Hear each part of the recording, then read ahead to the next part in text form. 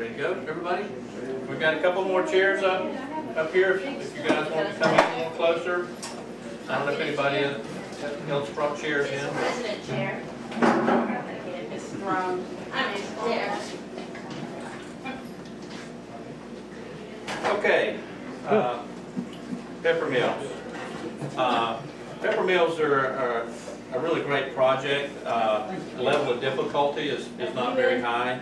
Uh, It's really kind of similar to pins. How many, how many people have made a pin? That's usually one of the first projects. It was my first project, and after I made a few pins, the second thing I did was make some pepper mills. So uh, it's great practice for spindle turning, making beads and coves and stuff like that. And uh, they really make nice gift items. People really appreciate getting a pepper mill. Uh, Kind of a high-level gift, and you give them for weddings birthdays and Christmas presents, and I probably made two or three dozen and and gave them away, so people really like them. You got a lot of design options in a pepper mill. Basically, you've got two parts, a base and a cap. And there's, there's nothing important about the size or shape or, or length of either one of them. They can be pretty much of your own design. And I've seen people make uh, pepper mills that look like baseball bats and pepper mills that look like uh, windmills and uh, so you name it, you can do about anything you want to with it. Uh, Just you got to get your overall length set uh, to the right dimension, and there's a couple of little key dimensions we'll talk about as we go through, but uh, you can look at uh, various uh, uh, books. Most of the wood turning books have a pepper mill project. You go on the internet and look for different shapes and sizes. That's what I did when I got started. I didn't really see anything alike, so I just sat down with a sketch pad and started sketching things out, and these are some of the ones that, that I came up with. And They look a lot like the stuff you see everywhere else, it's just my little spin on it, so. uh, But it's something you can sit down in front of the TV with a sketch pad and just do something until it looks right, and take it out to the shop, and uh, as you can see, my first sketches are pretty crude, and then I usually wind up putting them in on a, on a CAD file like that, that's a little, little nicer. Uh, I'm gonna pass these out. Um, pass those around. The first, the first page of your handout is the pepper mill we're gonna make tonight. Now, this pepper mill, uh, design is not mine. It was, uh, made by, uh, Nick Cook. He did a demo, uh, up at the symposium this year, which I sat in on, and I was pretty well impressed with. Uh, He's got a different technique than I use, but um, there's a lot of different ways to do this. He also had this article in the American Woodturner, that's the AAW uh, magazine, so it's in the public domain, so I don't have too much trouble with uh, uh, copying his work. And it's a nice looking pepper mill, that's what these are here. Uh, I'll pass this around too if you want to look at it. We can get you a copy if you want it, but it's in one of the older issues of the AAW. Uh, Second page is, is this pepper mill. This one I call a, a traditional style, and this was more of a contemporary style. Young people really tend to like this. Uh, My son-in-laws and daughters and whatnot have, have, tend to like that particular design. And this year I showed them this one, they like that one pretty well too, so. There's all, like I said, all kind of different ways, but this is just an example drawing that shows you some of the dimensions if you want to make this style. Um, Again, the key dimensions, the overall length, your pepper mill is going to come as a six inch or an eight inch or ten inch or twelve inch. The length of this shaft that is exactly that nominal length, this is an eight inch pepper mill shaft and it's eight inches long. So, um, the trick is to make the length of the pepper mill work out right, so this little knob that goes on top will fit properly. And I've always done this little bore, counter bore on the bottom that hides the mechanism, this one here, at 9 16 deep. And when you do that, you need to just make your overall pepper mill 1 16th longer than your nominal length of your shaft. So an 8 inch pepper mill, we're gonna make this, this total height here to be 8 and 1 8. And so I've got six and five sixteenths plus one and three quarters, will give me eight five eighths, I hope. uh, eight one sixteenth permit. And then the last two pages are, are something from a Lee Valley pepper mill, and it just shows you, uh, some more dimensions, and I recommend suggested design that they do. And then on the other side, the next page on your handout is how the thing goes together. So it's all pretty straightforward, and you'll get something like this with any pepper mill you, you buy. It's gonna have a little, uh, set of directions and dimensions and whatnot. Uh, mechanisms you can get from Woodcraft. Uh, Craft Supplies carries them, Packard Supplies carries them. I bought a lot from Lee Valley Hardware, and they typically cost ten to fourteen dollars. Depends on how long they are and whether you buy two or, or five or ten, that kind of thing. Okay, for your material, I start with a three by three, uh, usually, stock like this. Um, You can get by with two and three quarters square. uh, If you mount it between centers and you're real careful about, it, because you're gonna finish up at two and five eighths or two and three quarter diameter, pretty, pretty close, so three by three is a pretty good place to start with. I usually make mine about four inches longer than the pepper mill. Now, different, uh, people tell you you need one inch or two inches longer than the pepper mill, it depends on the method you use.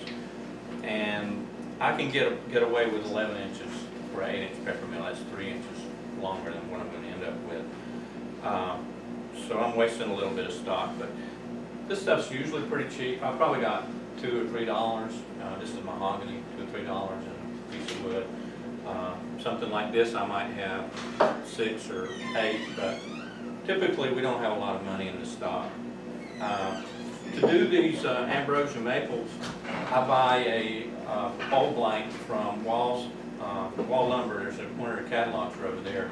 I buy a uh, twelve by twelve by three, and I can cut four peppermill blanks out of it, and I've got twenty-five dollars in it, so I've got, what, six dollars a piece in my peppermill blank. So they're not, it's not expensive, so if you're doing something like, uh, uh, this one right here, this is a red mallee burl, and I probably got forty bucks, or it's a brown mallee burl, I probably got forty bucks in that piece of wood, so you might wanna use a different method so you don't waste as much wood but for the most part, it works out pretty well.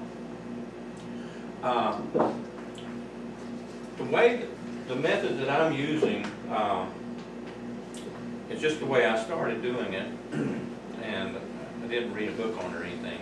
I've never seen anybody do it this way, but I mount mine on a, uh, a faceplate. I've got a little three-inch face plate, and uh, a couple of comments about that. A lot of people will tell you you shouldn't mount into the end grain, and uh, it's true that it's not as strong as going into a face grain like you're normally doing with a bow. So it's not the most sturdy of mounting. So I make sure that I've got one inch of thread going into this thing, and there's eight bolts on it. I use, or eight screws on it. I use every one of them. So uh, it's a, it's a good solid mounting, but I just wanted to pass that along to you. Now, there, there's, uh, the way I, the reason I do this, because I can do a pepper mill in three mountings. Uh, I think Nick Cook's mounting takes him, he either mounts five or six times, there's another, bunch of different steps. But another way to do this, if you don't want to use a faceplate, either because you don't have a small one, or you don't like end grain mounting, is just to take the piece, mount it between centers, turn it round, turn your rabbet down on one end, about half an inch to an inch long, and use a scroll chuck. Mount it to a scroll chuck. It's one extra mounting, but otherwise it, it'll be the same as everything we do here tonight. And I went ahead and turned this one from round to square because I didn't figure you guys needed to, to, uh, watch that. I usually, uh, try to keep my plan close by, because I refer back to it. I made enough, enough different sizes of pepper mills and styles that I don't memorize the, the length of any of them.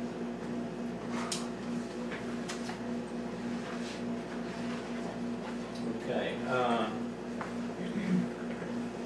couple more comments. One is, if you use this method, you need to be uh, very careful to make this end square with the length. Otherwise, it, it sits out here and does this, and you'll wind up with not enough material cleaning up down here to, to make your pepper mill. And this is the bottom of the pepper mill down here, and it's, uh, it's gonna be the biggest end, so you really, that's another advantage of putting between centers is you're, you're more likely to clean up your stock. Um, The other thing, when you're starting out, better get rid of these, or I'll be wearing them. The other thing that you want to do, make real sure about when you do your setup, is to bring your center in and make sure that your center is aligned with your headstock. Now, you can bring your center up, you can put a center in your headstock, a center in your tailstock, and bring them together and get them lined up very, very close. But if there's a little bit of error in them, and you come out this far, it just multiplies. The further you go out, the further that little tiny error is, and, and when you get out this far, it's gonna be about ten times worse than it was up here. So what you can hardly see over here, you can see a line. And that's not important with a lot of turnings, spindle turnings, because you're keeping everything between centers. But when we start boring holes, if these two centers aren't aligned, this drill's gonna walk. The drill's gonna walk anyway, but it's gonna walk worse if, if you don't have the two axes lined up together, okay?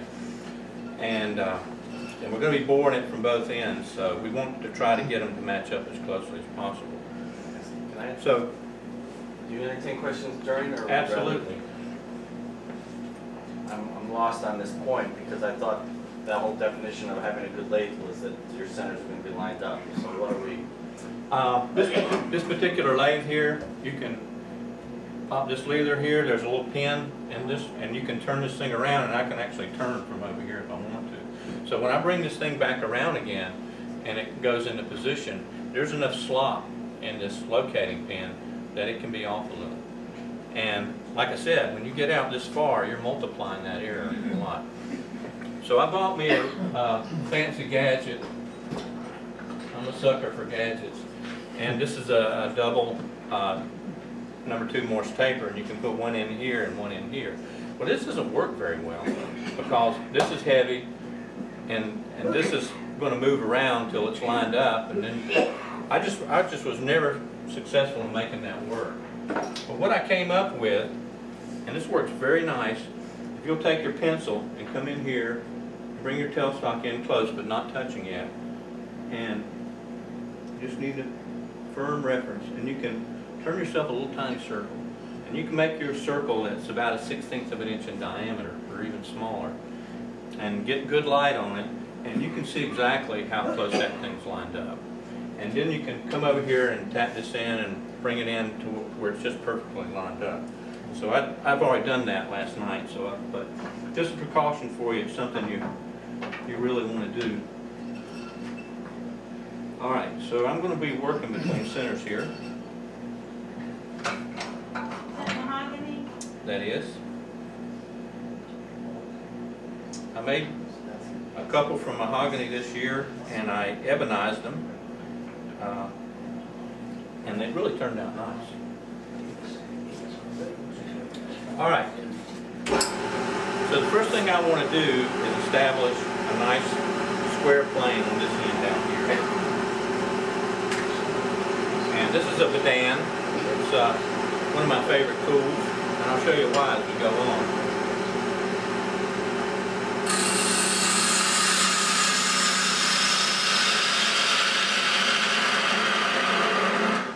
We got down pretty close now. One of the things I want to make sure is that I'm slightly concave because I want the pepper mill to rest on the outer part of the diameter, not on the inner part. So it's got just a little concavity to it, and that's just fine. The next thing I want to do is I've got a couple of dimensions here.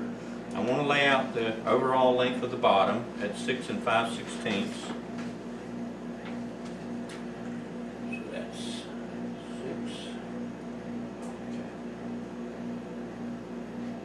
and Five sixteenths.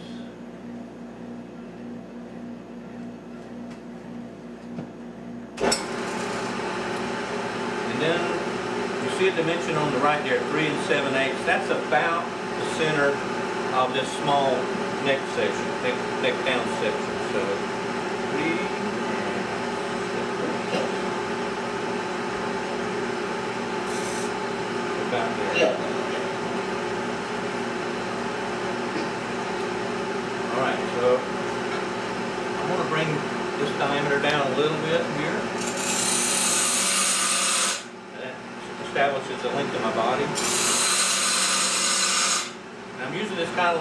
cutoff loop. You're not you don't want to punch this thing in uh, directly, very deep. You want to just go back and forth and cut a release on either side. That keeps it cool, cool.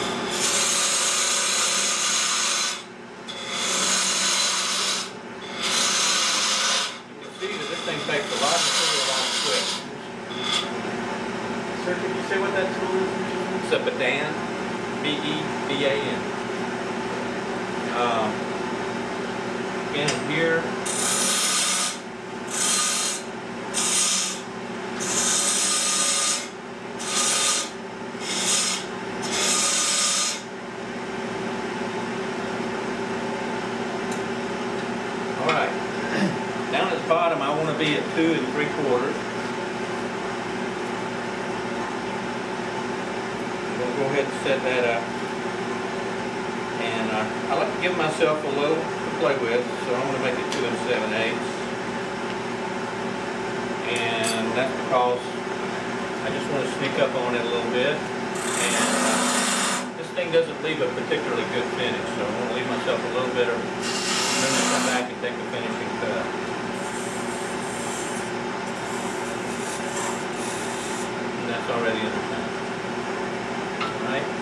middle, I want to be down at one and a half.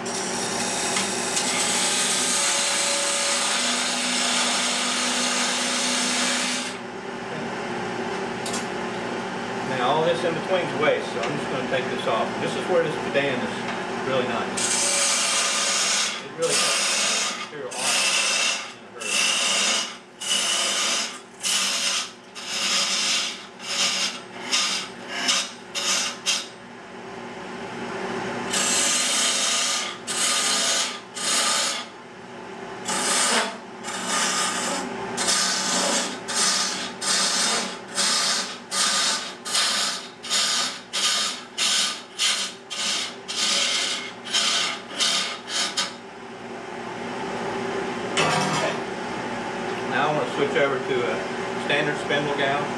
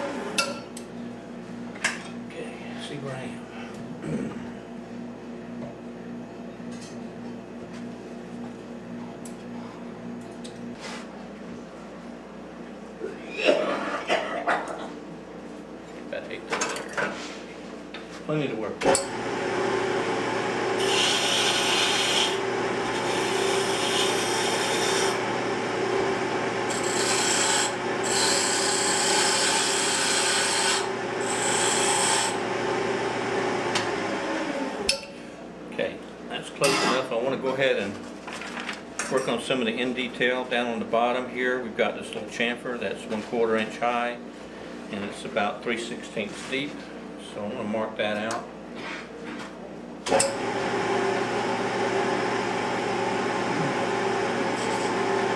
is not critical or anything, so.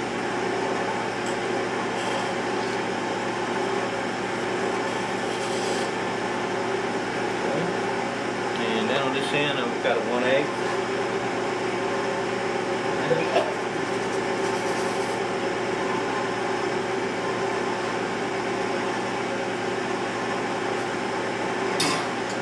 What I like to do is just come in and rough this out.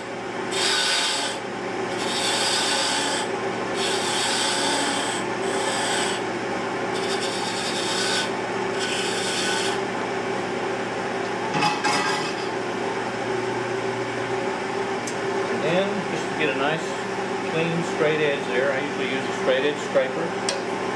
Come in.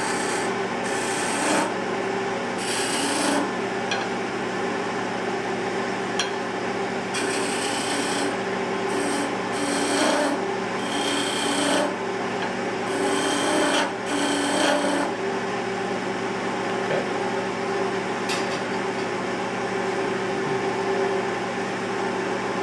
I'll do s- similar down here, except that um, I need to make myself a little room to work.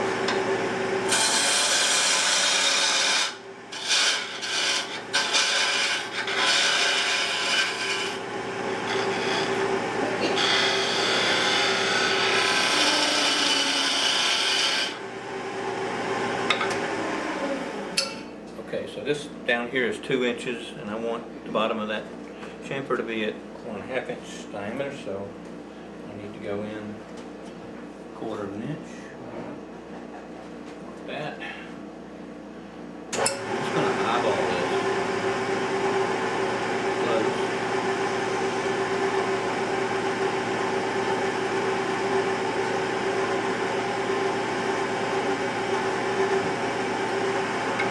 I found the easiest way to make this one, because it's an inside cut like this, is just to use this bedan and come in at an angle.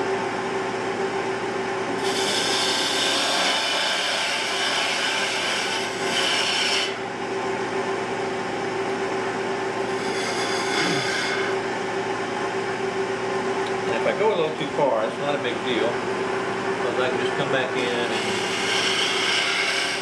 shorten that back till I get my nice shoulder there where I want it. And I want that to be about one and a half inches.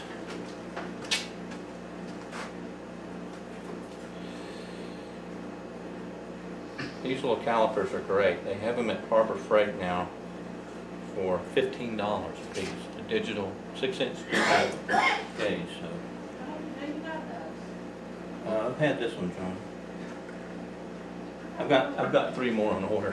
For a couple of friends of mine wanted one, and I'm gonna get another one, and uh, like Roland showed us, round over these edges on the top, so I can actually set this thing digitally and come in here and gauge my stuff, so that's what I'm eventually gonna do with this one.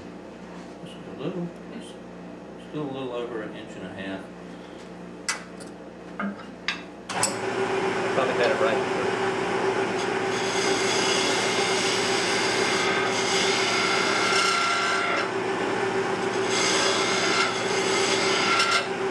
Okay. Should be able to go ahead and finish the body now.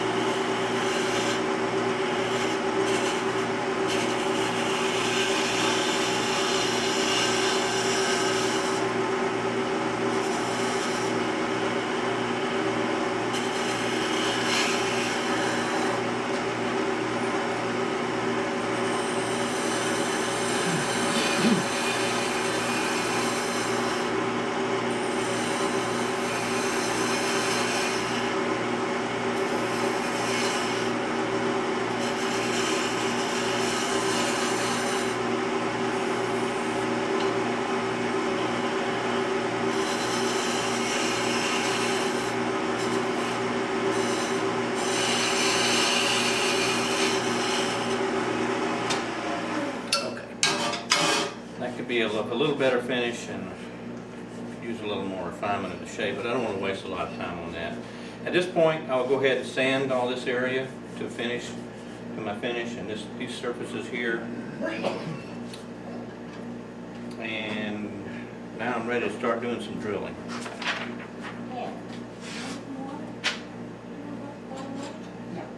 I'll do it for you.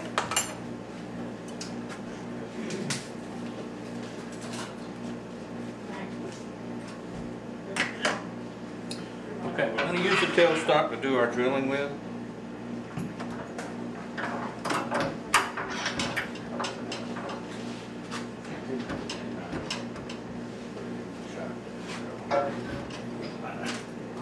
Sitting on solid ground here.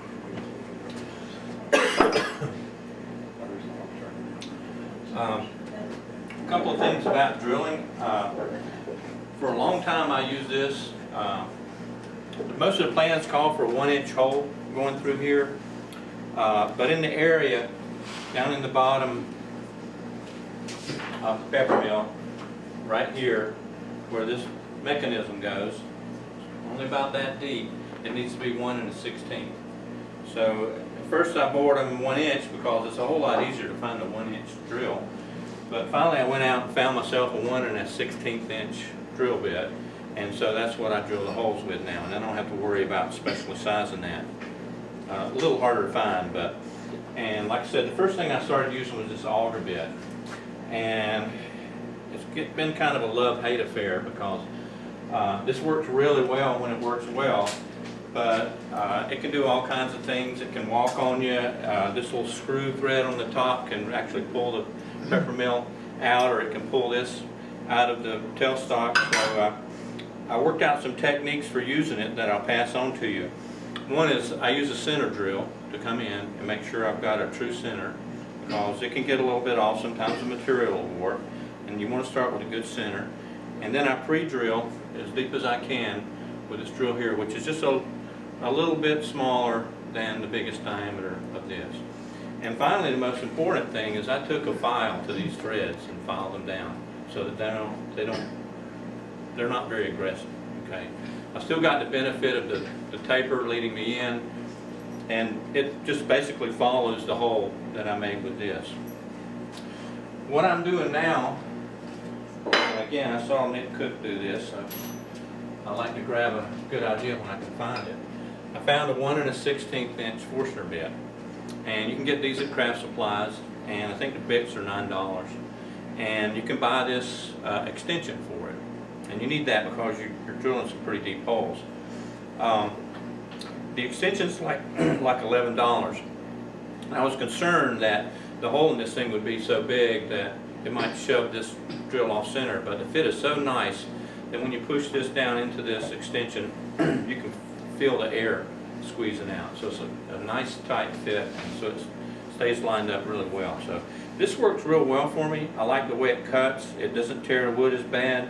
Um, the only thing I don't like about it, I'll show you, is you have to keep cleaning it out pretty much constantly.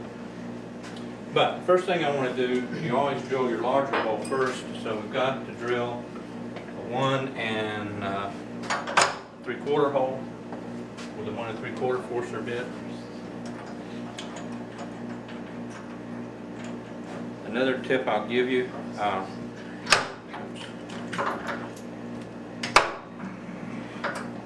a lot of drilling on Pepper Mills, so. I got this, again, after watching Nick use one, it's a uh, keyless chuck, it's a really nice thing. But unfortunately, I had my uh, paper spin on it, and it won't stay locked on anymore, so I'm gonna have to get a new one, I guess. But that'll save you a lot of time.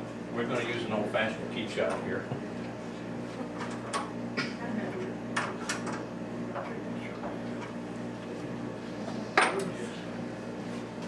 All right, Forstner bit, you want to run the lowest possible speed you can. And that's on my leg is 450 RPM.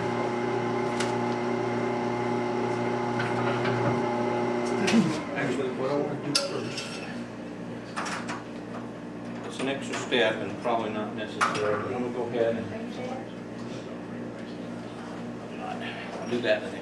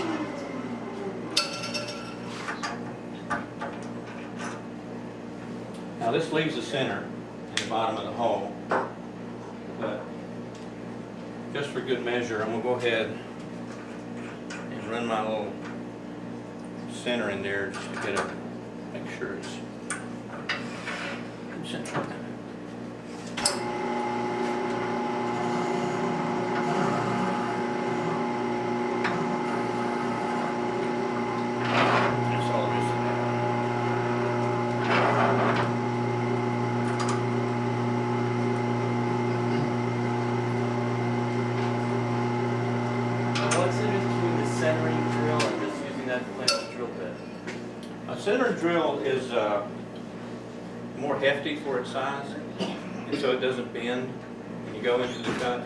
So it'll cut, they're more, more used on uh, metalworking than anything else, but it'll, it'll give you a good solid, this little drill bit here, if I came in with it and I already had a hole that was off center, it would just pull it, pull it on me. It won't pull that one off, That- that one will stay right on center.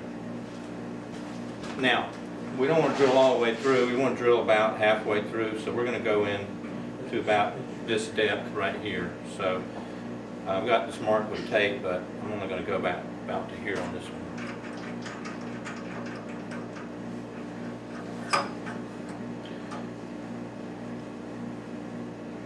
Is there advantage to only going halfway versus going most of the way, or? Yeah, um, the reason you don't want to go all the way, because this, this drill is going to walk, and it will not come out in the center on the top. So the idea is, you can see it, you want it to be able to see it visually centered here, you want to be able to see it visually centered from the top.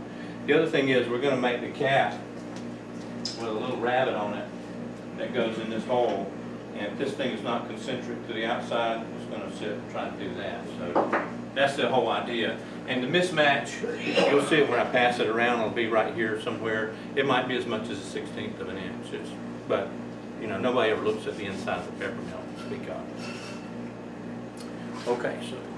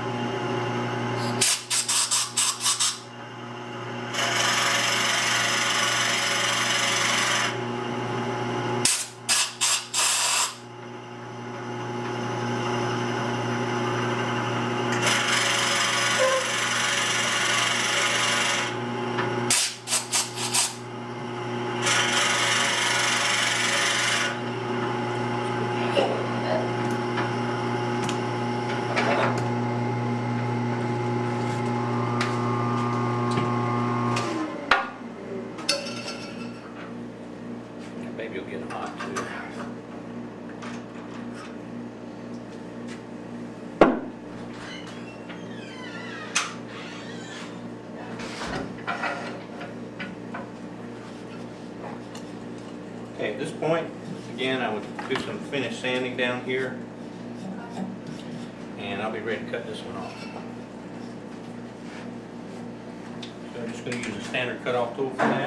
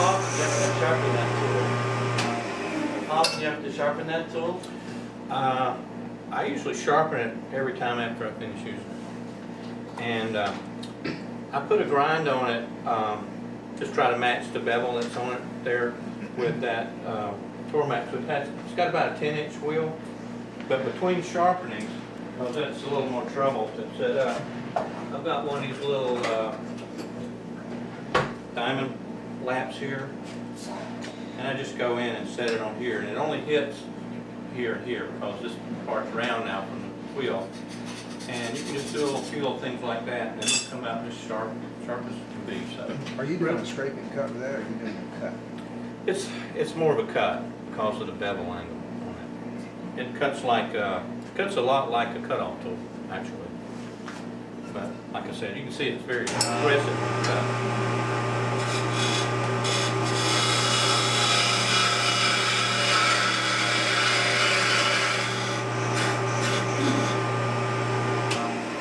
All right, now I just need to leave enough for my cat. It measures one and three quarter, so I'm gonna cut it off about two inches.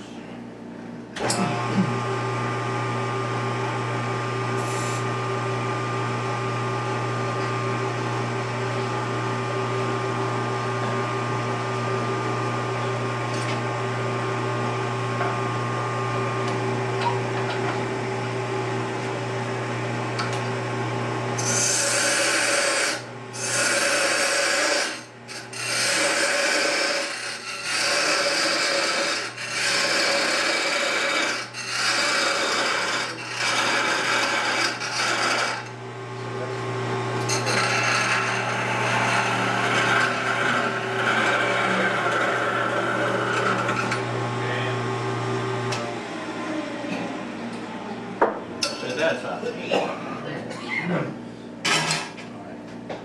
Now I'm done with this. You can see I've got uh, a couple inches of extra stock there.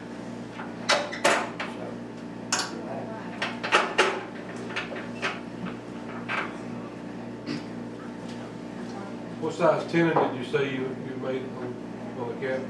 Uh, it's about one and a quarter. I'm gonna finish up, this is gonna be about one and a sixteenth, thereabouts. So I just wanna leave myself a little room to take material down. I wanna throw all this back up when I put it back in the lathe.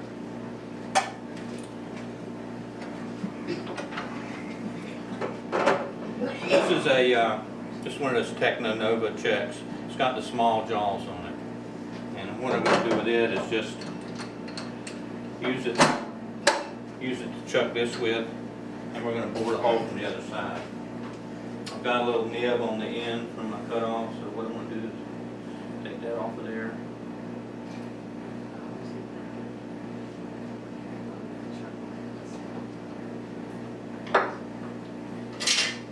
I'm gonna mark the center, I'm gonna put the, make sure I pick up the center as closely as I can here.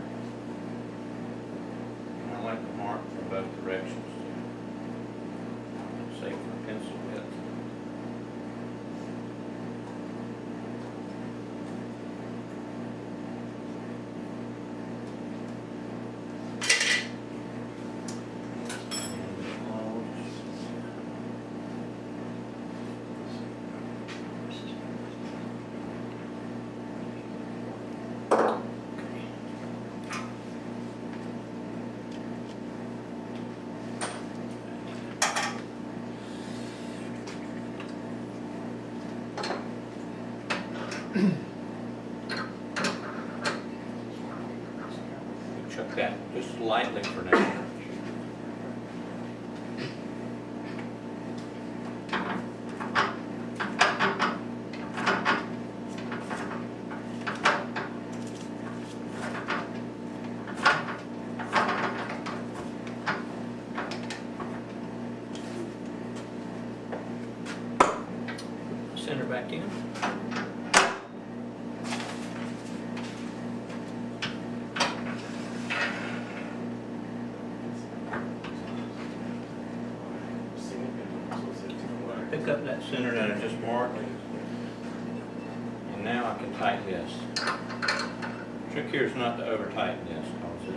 chucking on a fairly thin section and it's expanding. I used to have to tighten, them pretty tight when I used that auger drill because I was afraid of pulling out. But with this Forstner bit, we don't really need to do that.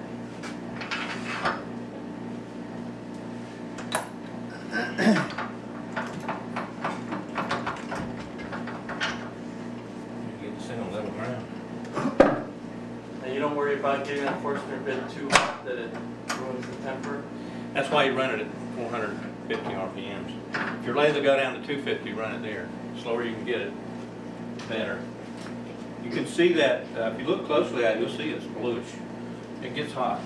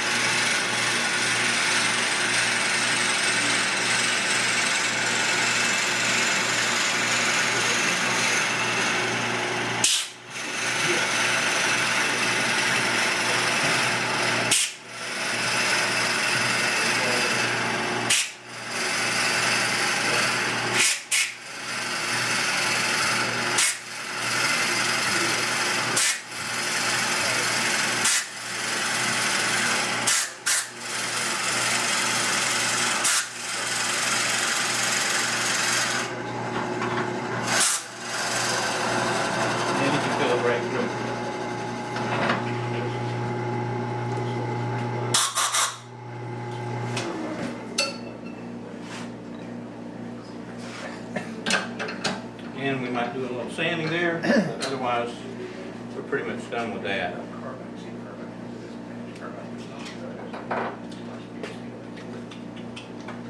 Little donut left in there usually.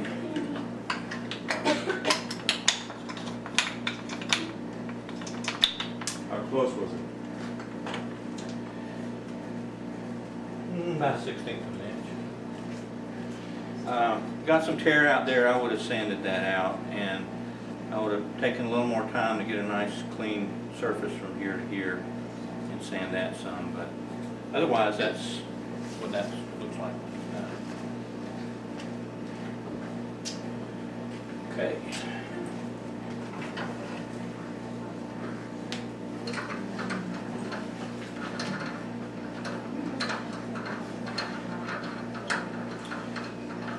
This is another area where I might like to make an improvement on my technique, because uh, I have thrown some of these out of this chucking from time to time. It's not the soundest. Yeah, man, be ready to go. You got a mask, you want a face shield? So I'm gonna get that close. I mean, I've got stock on there. I'm not worried about getting that lined in just right. This is reversing chuck, it's gotta be this way. Yeah. I ain't gonna tighten it down, it's tight as I do. How does Kiva's checks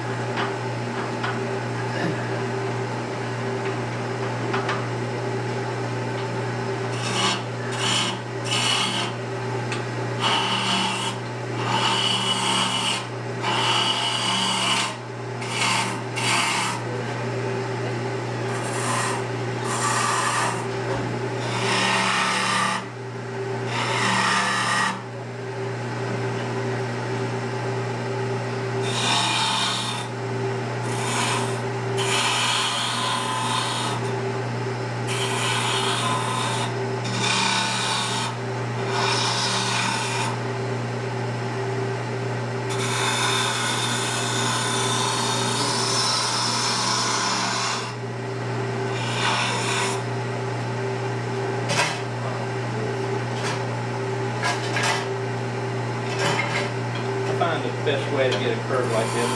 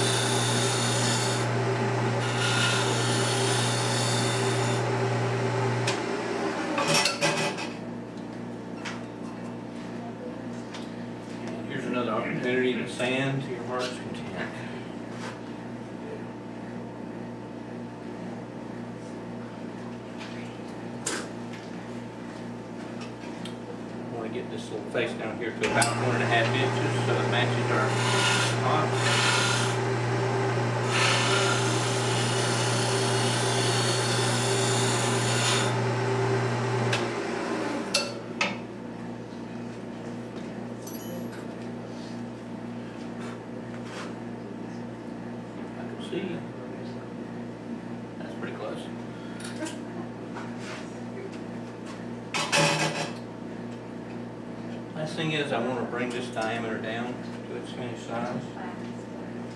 And usually, uh, somebody got a mill, pencil I like to measure them because sometimes the cut, the drill drill's a little oversized. And I'd like a fairly good fit here. So like 1 to 16th is 1062 and this is measuring 075, so you can see it's a little oversized. So that's what I want to try to bring this diameter down to, pretty close to it.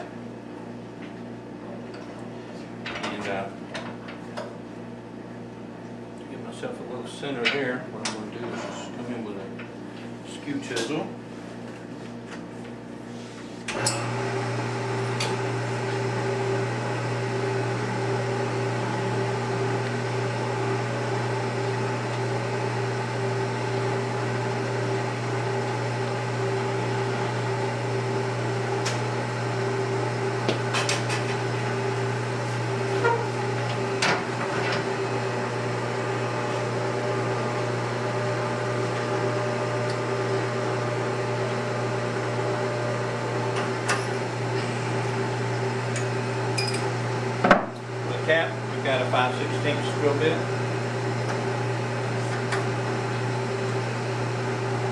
I'm going to slow that down a little bit too, not slow as we go.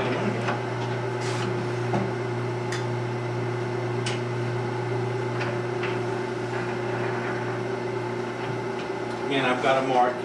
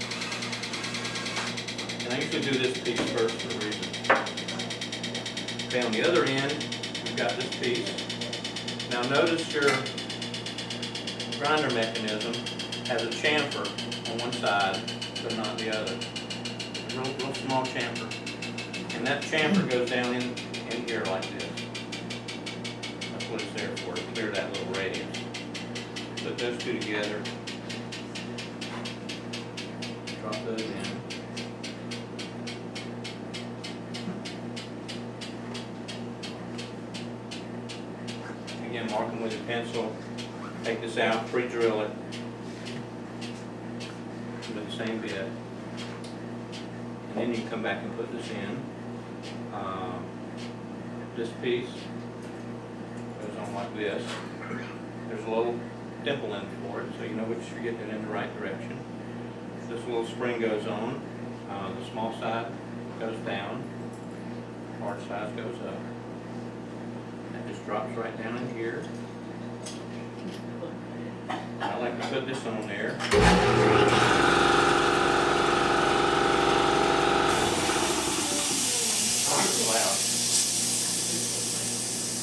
And I put the cap on just to hold everything in place for me, so I don't have to mess with it, I'm not tight. Now this little retainer band comes on, and that just holds the mechanism in when you take the top off to put new peppercorns in it.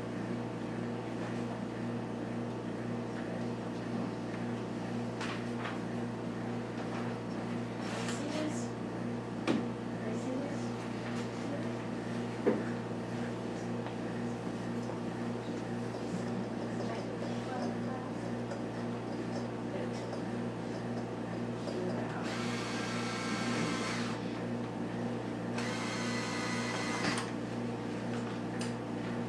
There you go.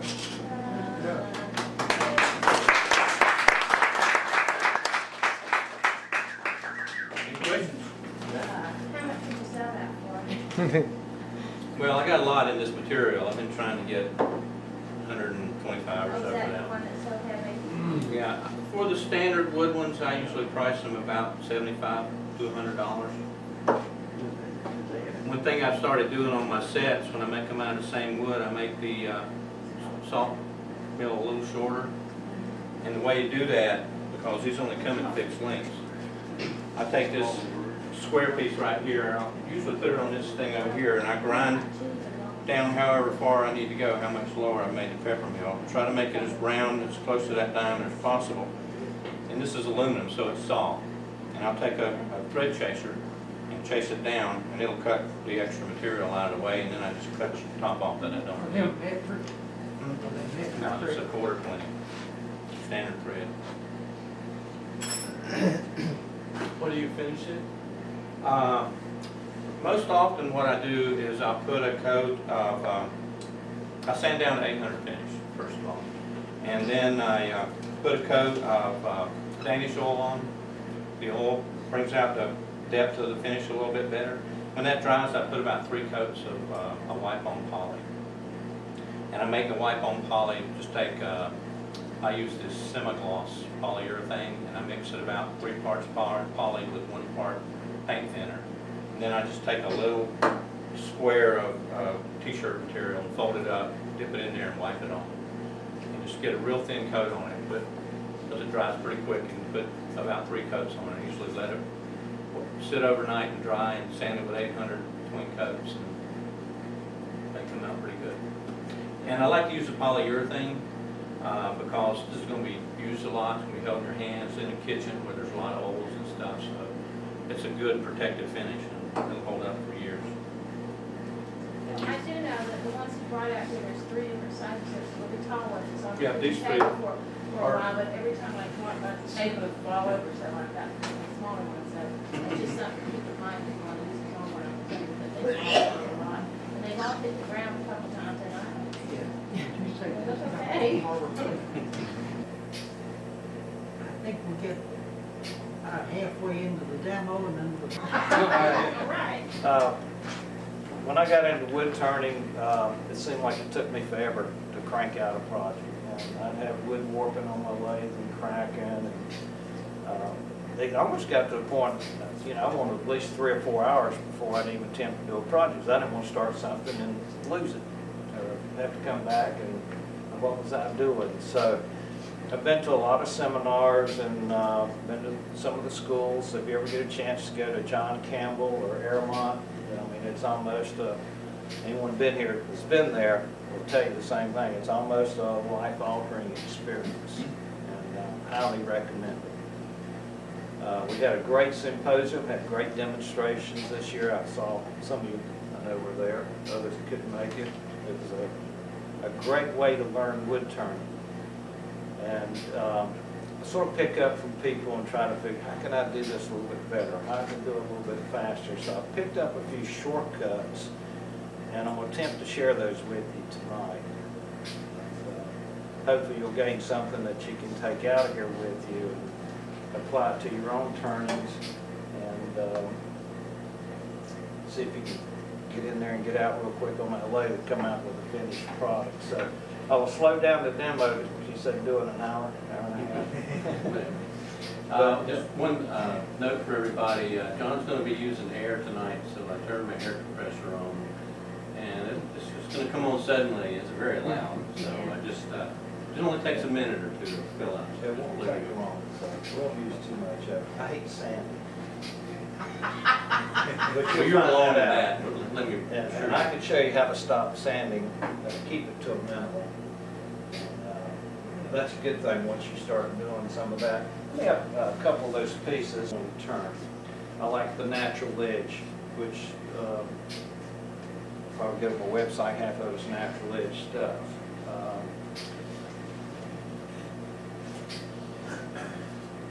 After a while, you get, you, you sort of get a feel for what you're doing in the piece, and, um, I don't spend a whole lot of time mounting the piece. And I used to, I'd face plate everything, which I do highly recommend if you have time. Uh, I've seen some great demonstrators jam chucking, so I'm gonna show you how to jam chuck tonight for those that haven't done it. And uh, I usually will turn, with the chuck, I turn a foot, and uh, that's what I grip the piece with. Uh, This one I did some sanding on, the other one I didn't. Uh, I like the texture to bring out the characteristics of uh, of the wood. This one had a real nice outer uh, cambium layer, so I just took, really it's just a burr, and I just like a Dremel tool, and you just tap your burr onto it, and it textures it. Uh, They make texturing tools that you can experiment with as it's turning, and it'll actually put a texture on it. I don't have that kind of patience, so I had to cheat a little bit.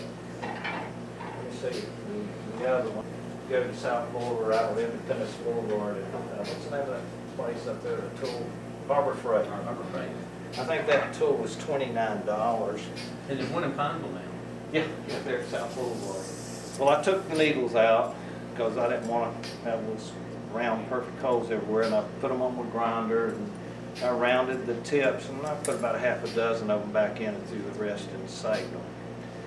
And uh, when you turn this thing on, which you'll get, get to see this thing in action, it doesn't take long to texture something, and the beauty of it is you don't have to sand. So it- it'll give you a nice finish without sanding. Air hose do not do this to me.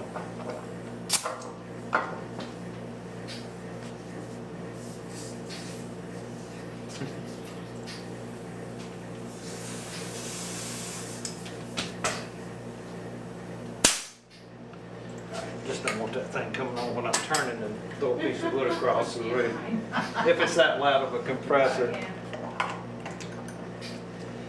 So, well, let's just get down to it. Um, Normally I turn a ball in 30 minutes, it's about this size, so I was really stretching it a little bit. We'll see. Safety's the most important thing. Uh, Check the lathe speed before I got on here. I'd hate to put a big piece on and have it going 90 miles an hour go through your roof. Uh, If you have belts, it's, it's good to check the belts. I like uh, using gloves to keep my knuckles and fingers intact. I probably have some blood stains on this thing. You can see it's got some battle scars on. Uh, Safety glasses is a must. And um, face shield is preferable. But since you're taping this, and I don't plan on going too awful fast, to attempt to do this with safety glasses. I might reach up and get Go for it. your shield. I'm a big fan of the Dust Bee Gone mask. If this is dry wood, you'll see me wearing this, so if it starts dusting up, I'm gonna put this on. Uh, you don't know how toxic some of these woods are. I have a Trim Micro that I use sometimes when I'm finishing and sanding, and, uh, to me, anything that's powered like that, that filters out dust is worth it, because this stuff can really work on you your lungs and sinuses, and it's not good for you. That's one of the hazards of wood turning is the dust. so protect yourself, that's the best thing I can advise. When I'm jam chucking a piece, uh, I know where I put this is gonna be the bowl. I don't have to have it perfectly centered. I'm gonna look around. This is a real punky wood, so I don't know what I'm gonna get into here, so I'm gonna probably try to turn this thing.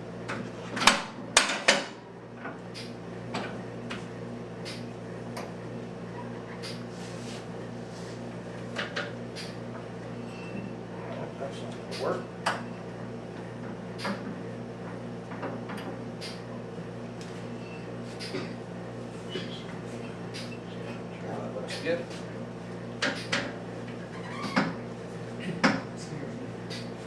Would like to send something.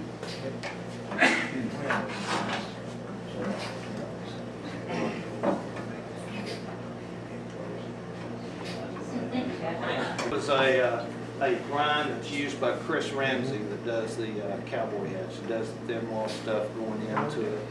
Uh, I like more of an Ellsworth grind, so I get a very aggressive grind usually when I'm doing my finishing.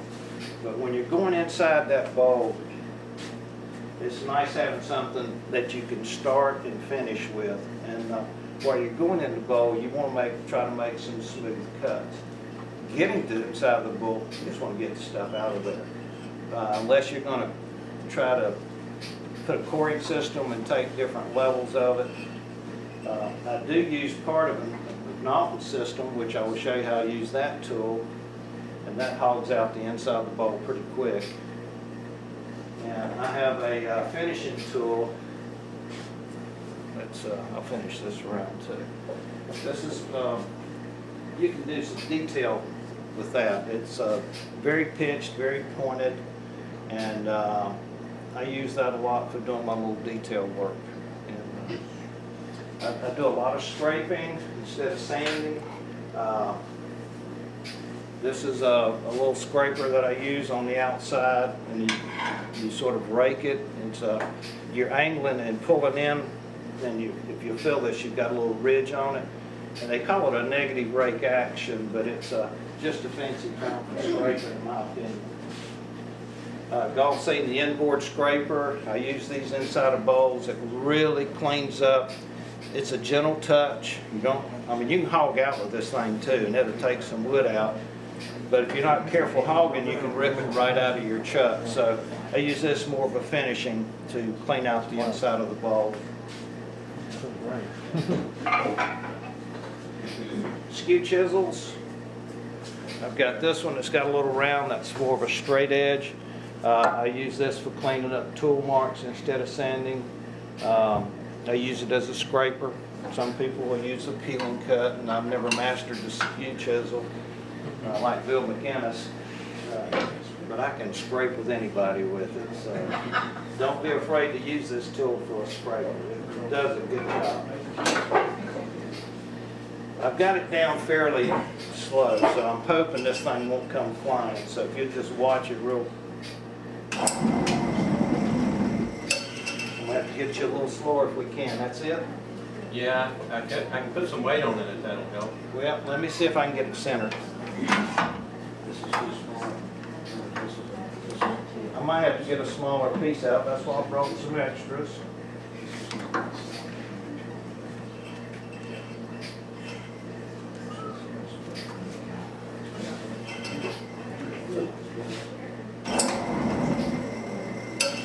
All right. We'll make a 20-minute bowl. I'll get a smaller piece.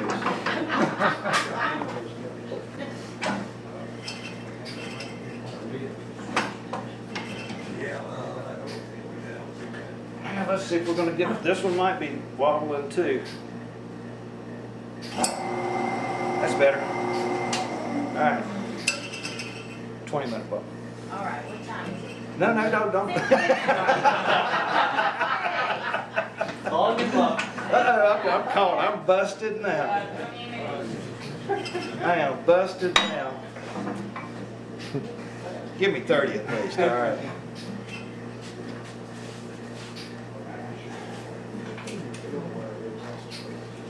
See, I killed about twenty minutes talking. Doing fine. All right, That's stand back. Yeah.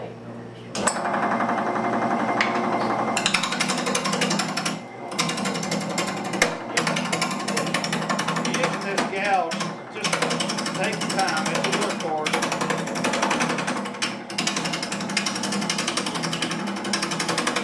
I like holding everything in my waist.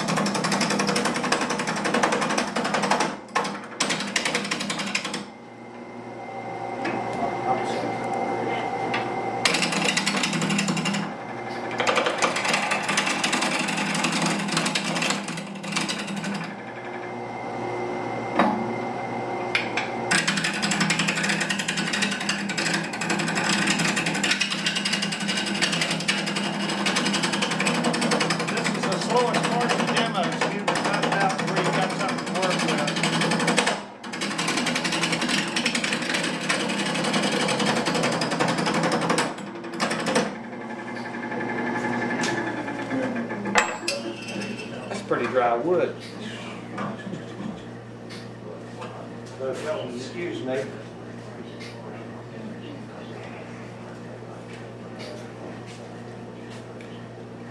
Hope you can hear me through this thing. Yeah, we can.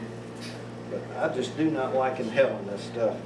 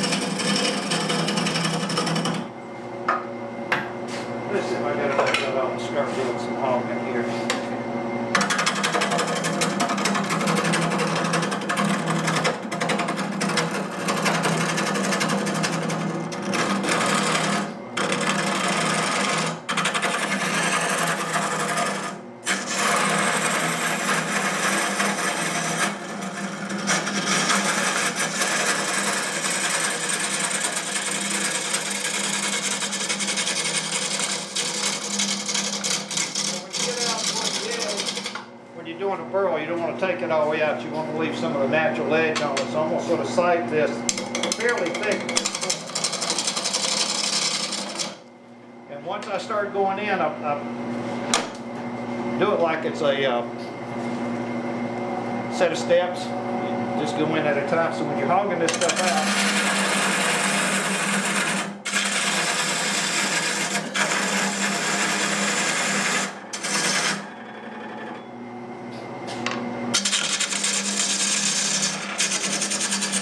Always keep checking, make sure you got a good tight jam on it.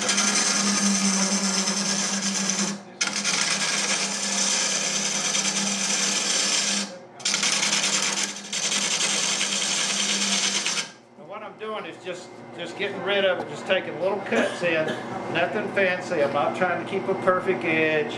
I'm just getting rid of waste.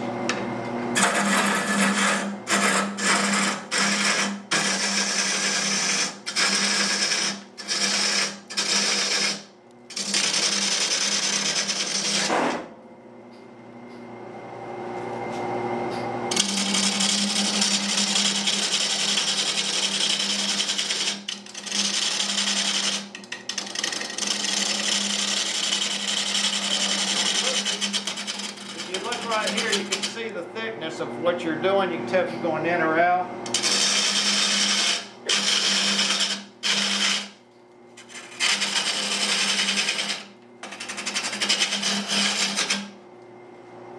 All right, stop so you can see what we're at. See how we're doing that? Getting rid of a lot of, lot of material there.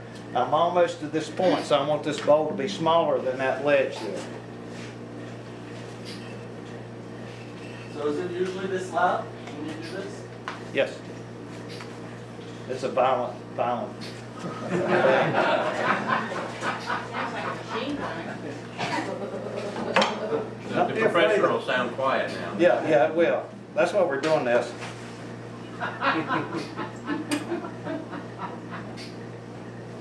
Let's see where we're at. That's like John's so mild, it's all his aggressions out. Man, this is it.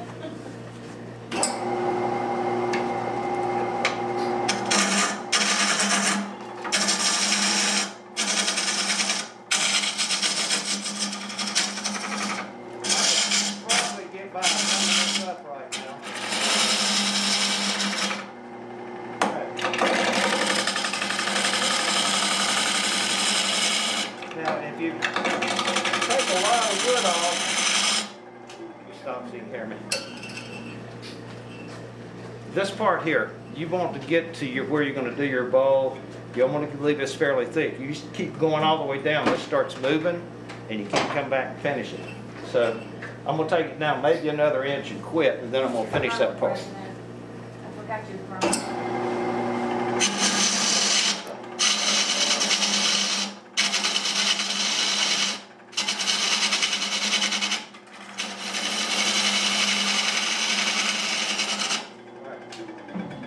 That be down enough where I can start working on this edge. I don't want to finish this till I've got a good finished foot, because if I finish this, this thing can move. So now I'm gonna move over and determine the foot that I've got on this piece. Let's go ahead and get that defined a little bit. Then we'll come back and finish that.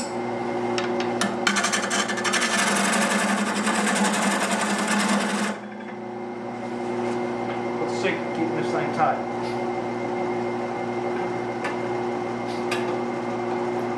Switch it around my side.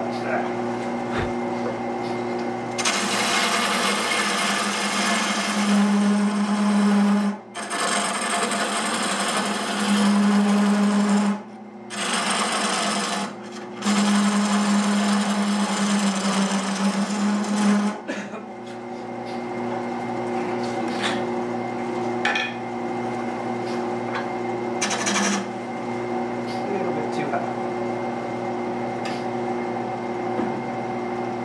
I think it's probably vibration keeps lifting that up. Is that what it is?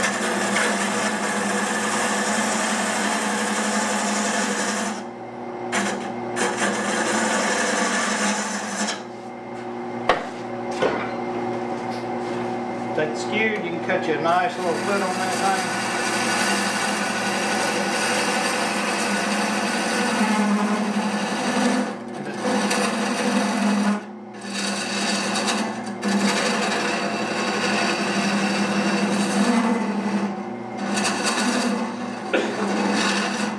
When I'm cutting a foot, I want to make sure that I'm going in just a little bit. See what I mean? When this thing sits in a chuck, it's riding on this tenon. So that's the critical part to have smooth. If you've got that part smooth, you don't want this thing bottoming out. You don't want this bottom bow to where it's gonna hit the bottom. So if you go flipping it around, it's gonna wobble like crazy. Let's see what. Yeah, That's good. All right. I'm gonna take this down a little bit deeper. Speed things up a little bit.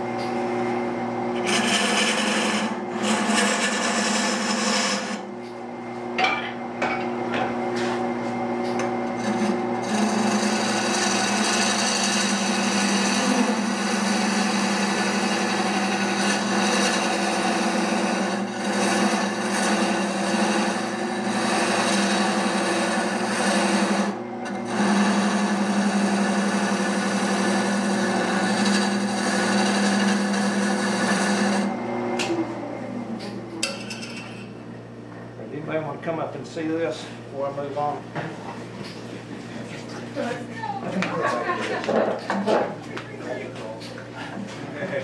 Your, your Chuck. Natural edge, now's the time I want to come back in, and you can see I'm thicker here. See that thickness, and see that thinness there? What I want to do is take this to here. Now, if you're, you can do it two ways. You can come in and pull out with a pull cut, but you have a risk of tearing out that edge. So I prefer to go in with a push cut.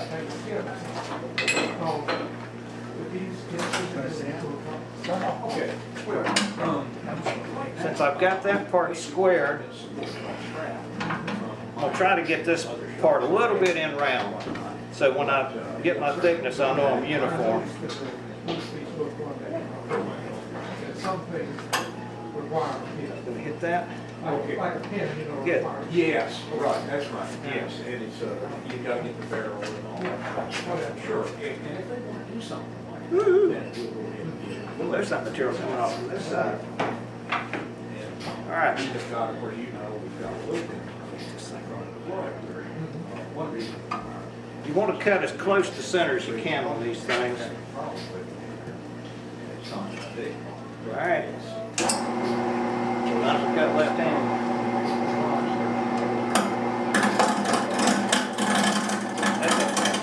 Real cut.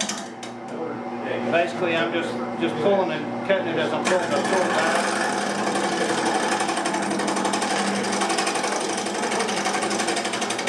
You can see the difference in the daylight on this side, trying to get it squared up best you can. Man, way out on that side.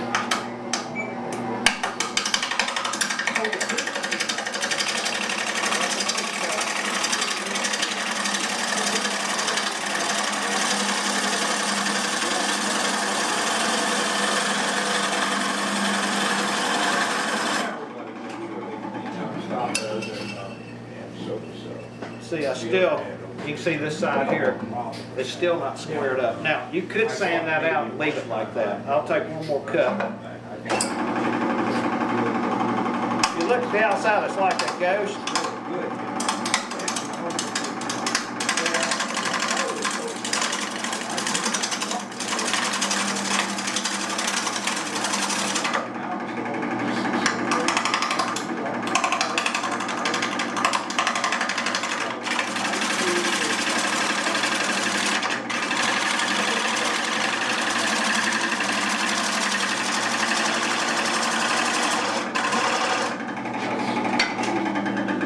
Something getting something?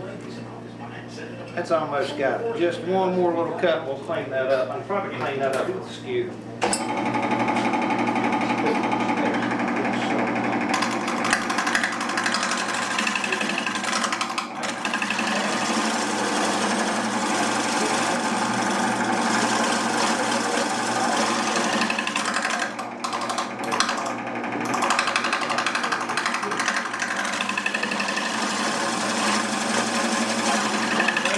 Using it as a scraper. Doesn't have to be perfect because I'm gonna have to redo this once I flip it.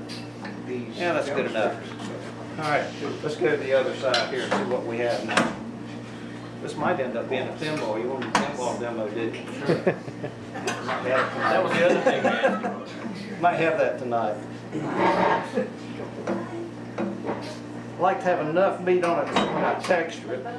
In that case, John, we'll give you ten extra minutes. Fifteen minutes are up. My 15's up? Yeah. Am I 15 in this Five more thing? I've been talking too much, haven't I?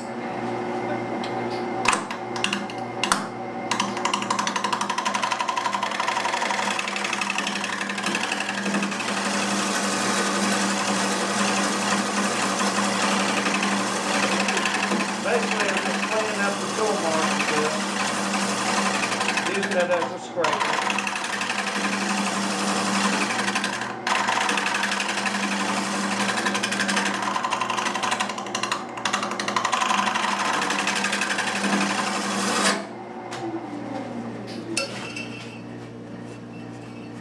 It's close. It's moving. That little thing is already moving. Hard wood.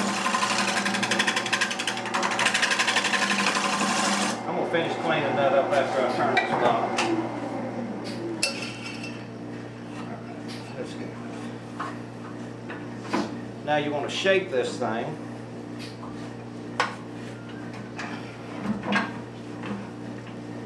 You cut all this out. I like to pull. Can you explain what you mean by pool versus? Okay. I'm not following that analogy. All right, let me. Always check this thing.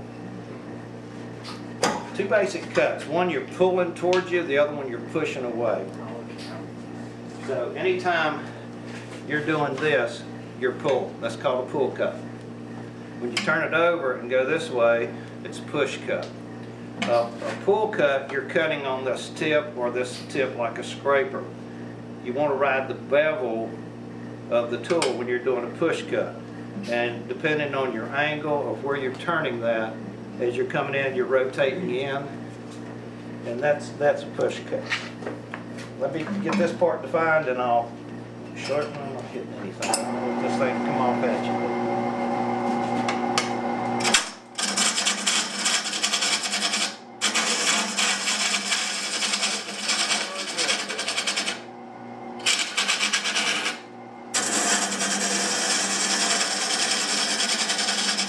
That is really a pull cut that I'm going with.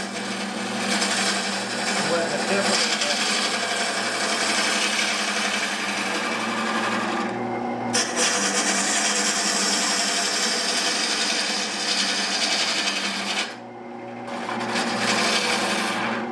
Now, if I want to do a push cut, I can come in like this.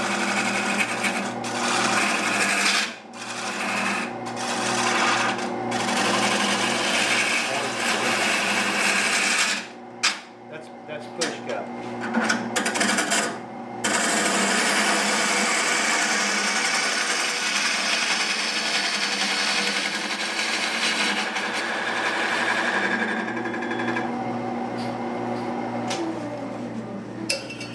I really don't want this bowl to be that deep, and I hate wasting that wood, but I'm gonna have to waste some wood here. It's just the form, you gotta look at the form of what you're doing. Biggest fault I had, pretty wood, I wanna use all of it I could. But when it comes to form, there's gotta be a decision on what looks better. Would a bowl this deep look better, or a bowl this deep look better?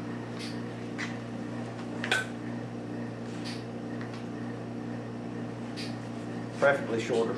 That's gonna be fun now that I've got a full foot on it, isn't it? I think, hey, I can get on in there pretty good with that frame camera. All right, let's make a deeper foot. It's a forty-five minute bowl now. We're not taking away when you stop work and talk, especially this thing tight. Be very careful when you're adjusting a tool rest when it's turning because you can lose your piece real easy.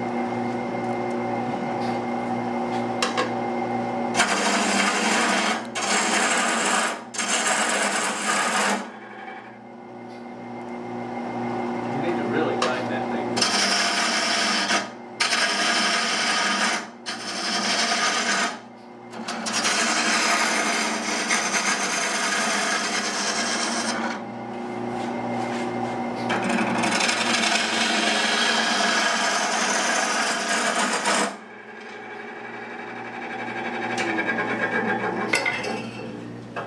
Just that little bit made it look a whole lot better on the shape. So, uh, the more you turn, the more you start paying attention to form, because that's the difference between a good piece and a bad piece.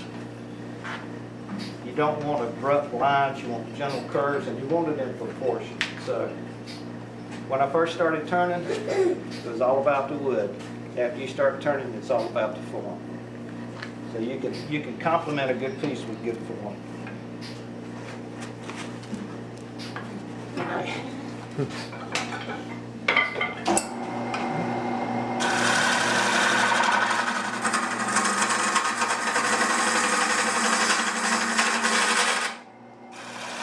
bit hard with the tool rest to do this, but if you take a light cut, sometimes you can get away with it.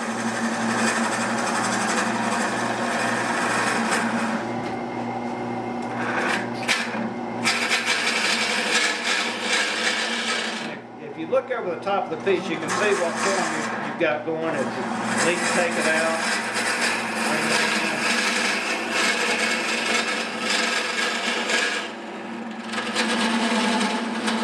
How deep can I go with this thing? Is it too deep?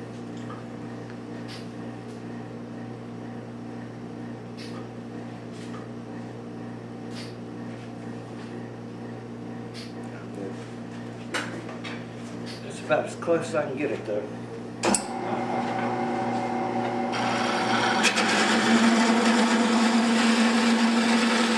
Now one way, if I had a, a longer foot, is I could come out here and make this a smaller, that'd go down, what, about an inch and a half? Mm-hmm. I can make this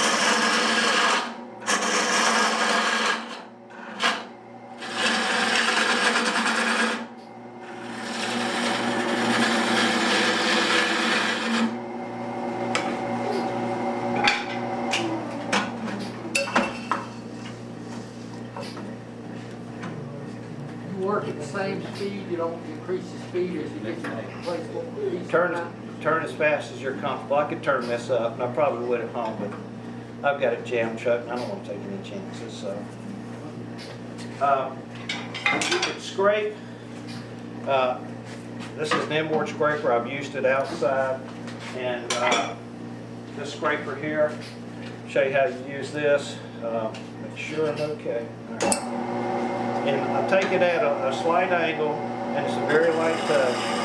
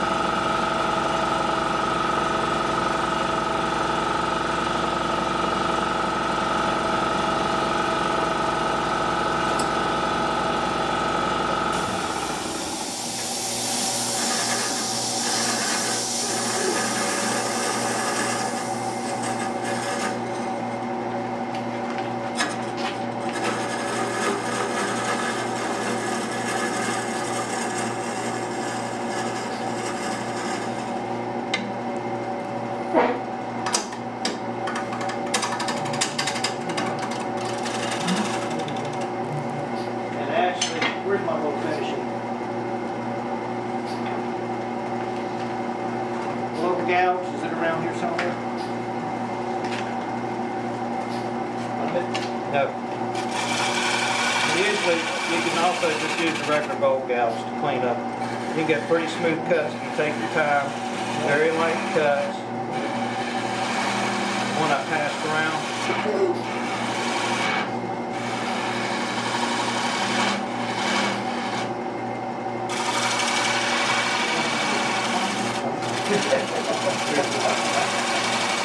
This is my catch tool here.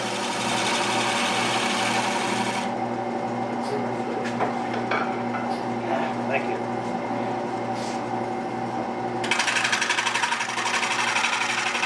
can see how that outside edge is moving already. See the, it's hard to tell from here, but you can see the fine dust this thing's taking off.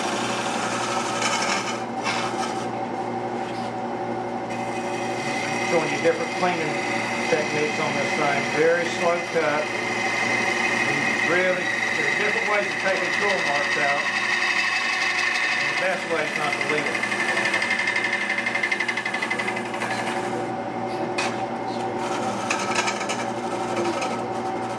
Just light cuts. This thing gets catch, in.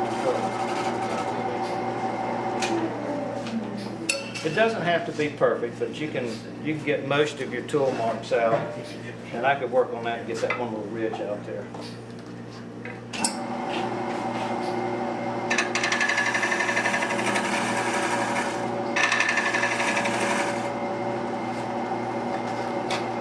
And I like to ride the back of it, because you just tilt your tool till it engages. That's, any gouge, you can do that. And you, you practice your cuts, and you can really do a lot of cleanup with a bowl gouge. Just ride the back of the bevel until you get it engaging, and then you can work it. It's a very light, delicate cut. You just want to see a little bit of fiber coming off of it. And you can clean that thing out pretty good. I need to get this thing, well, can I take it any smaller than this on the chuck? Uh, Inside of that down to about two inches. Wait, very small, you got a small one? Yeah, I got a small one, but it's not that deep. That's all right. Scale. to go down to two? About one and seven eighths. All right, I'm probably two and a quarter, so I'm good to go. What I'm gonna do now is reduce this foot, so I can get it into that chuck. I hate wasting it, but, you know, doesn't go with the form, what do you do? Just get rid of it. Put it on your compost pile. Well, I can part it off too. Powerful. Don't wanna do that.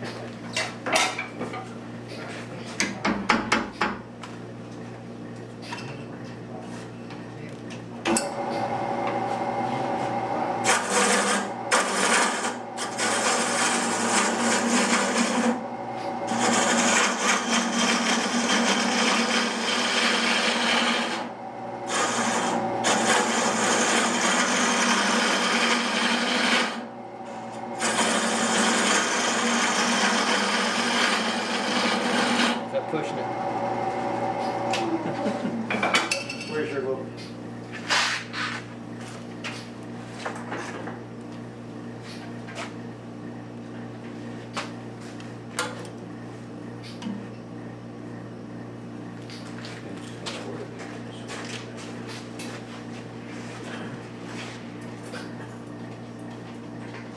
Yeah, you, I'm pushing it now. All right, that's it. All right, let me just clean that thing up a little bit.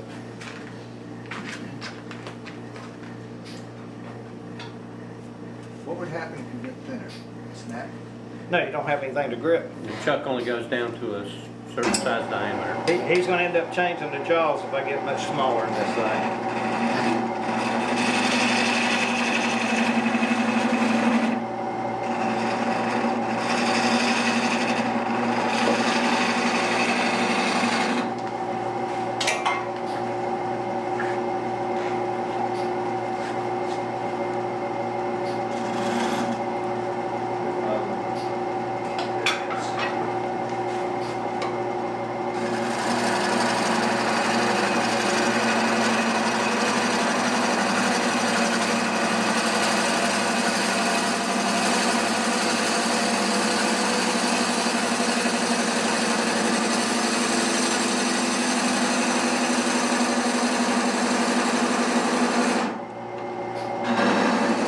Yeah. Now, if I can't check it up, we'll cut it off and do it again.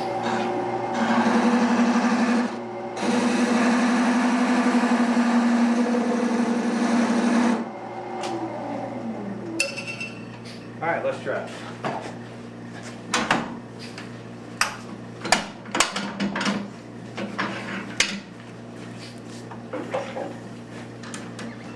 Show and tell. You've got a little tiny hole in there, don't you? We might have to cut that off. Yep. Now you good. Uh, Since it's resting on this, you're gonna, I like to clean mine off.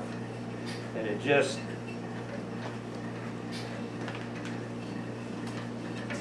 you can get a grain of sawdust or something in there, a little chipped wood, you didn't realize it, you stick it in there and all of a sudden it's caught just enough.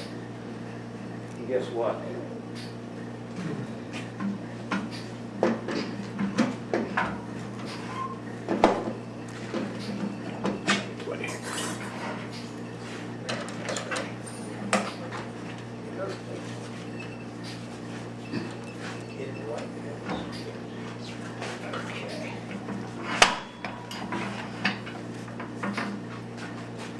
Do this for a reason. Not bad.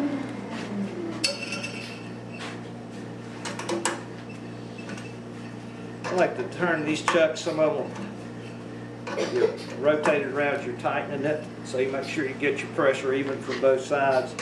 You'll take some of the wiggle out that sometimes you get in one. The hogging tool. Just about time for it. What I'm gonna do now is go ahead and get this bowl defined. What are we gonna do with it? Where's it gonna start? I've got it out here. And I'm gonna leave this thing engaged as much as I can.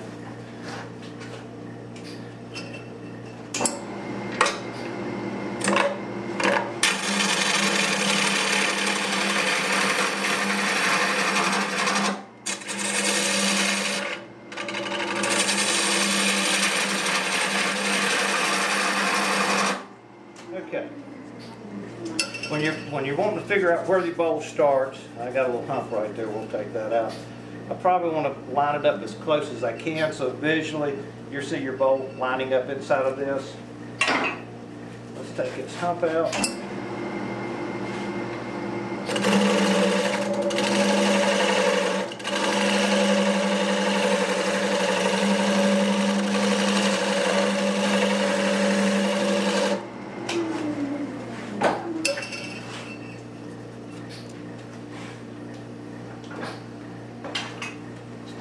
I'll put an edge on that thing.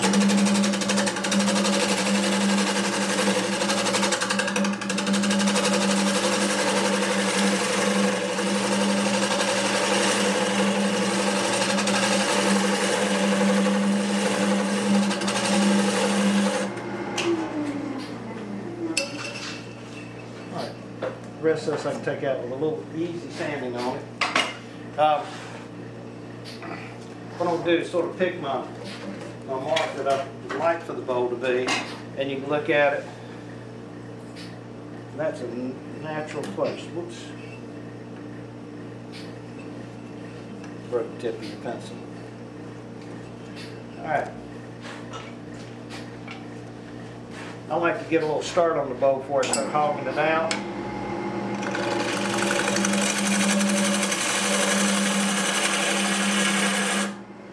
And I want to get a little want this to start.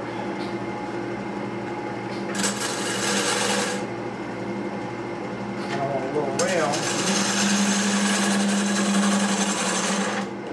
All right, now, the reason I do that, this is part of the McNaughton system here.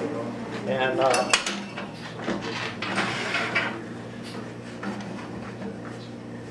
I've got a pretty deep bowl here.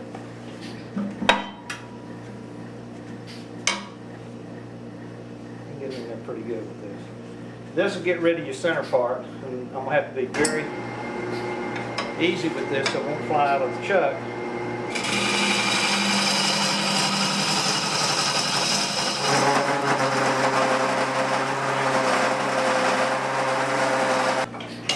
Again, this is just some shortcuts that can speed this thing up for you. I got a little water on that thing.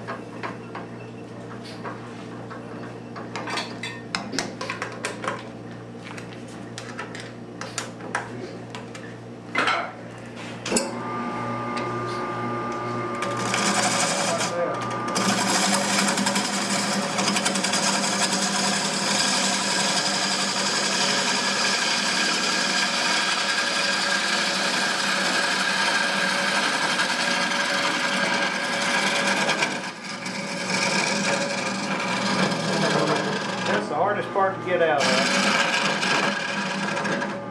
I come in like this and roll it into it. That's the motion that helps get rid of that part.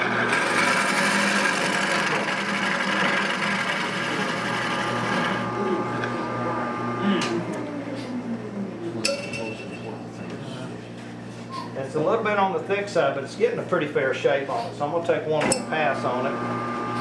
Since it's out around, that should be fine.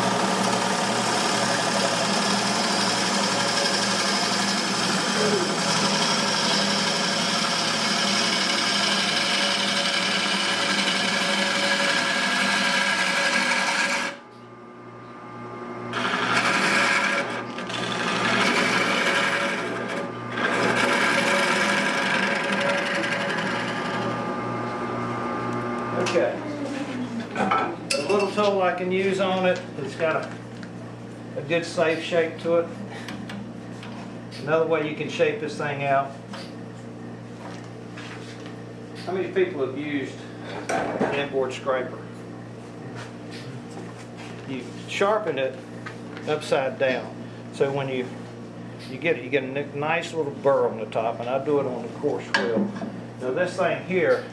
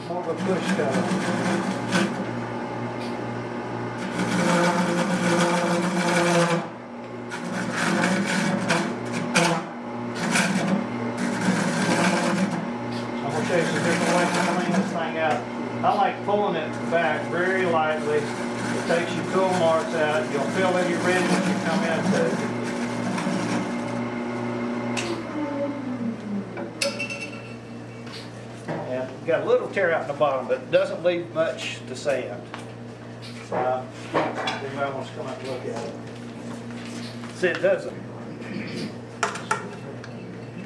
We'll see if it stays around this time. What we need. Not, gonna have a wood bowl. Mm-hmm. Might be demoing more than, uh, oh, man, that's bad.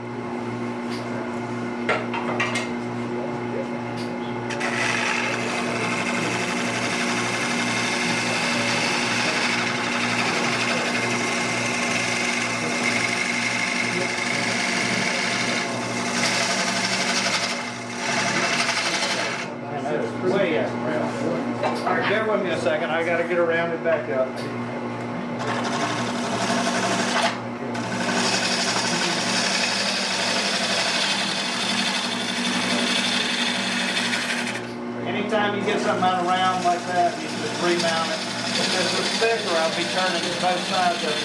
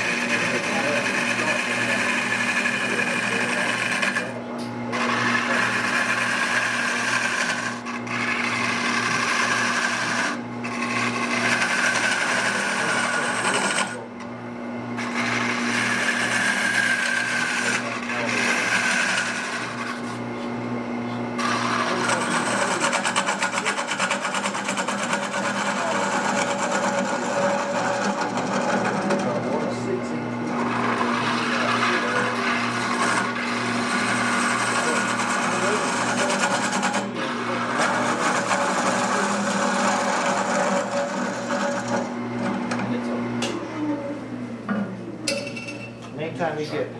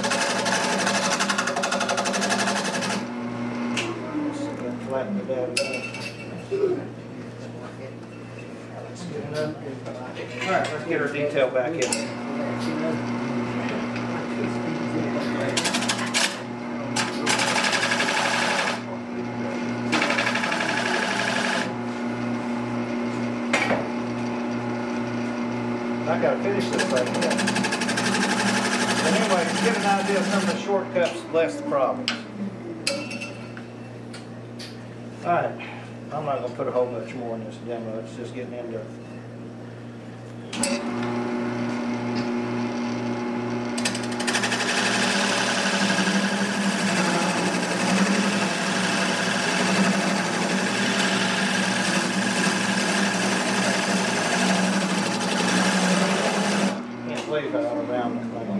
Basically what I'm trying to do is get this ram and where this bowl will sort of stand out from the ram a little bit.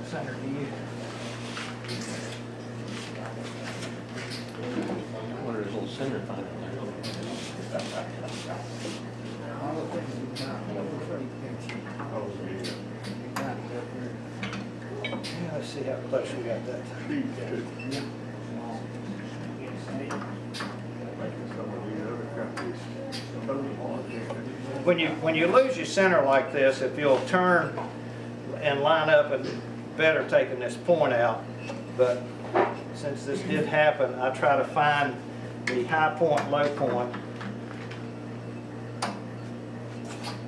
if there is one. I was lucky in Charlotte, the demo I did there was just dead on. Live and learn. Don't say that's what I get for coming out in the country.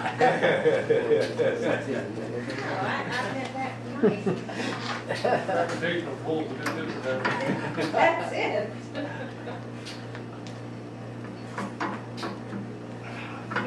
Those two dots.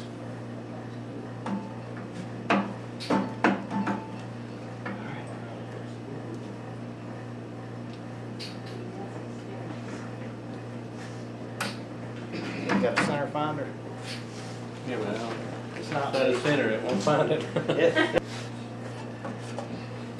All right.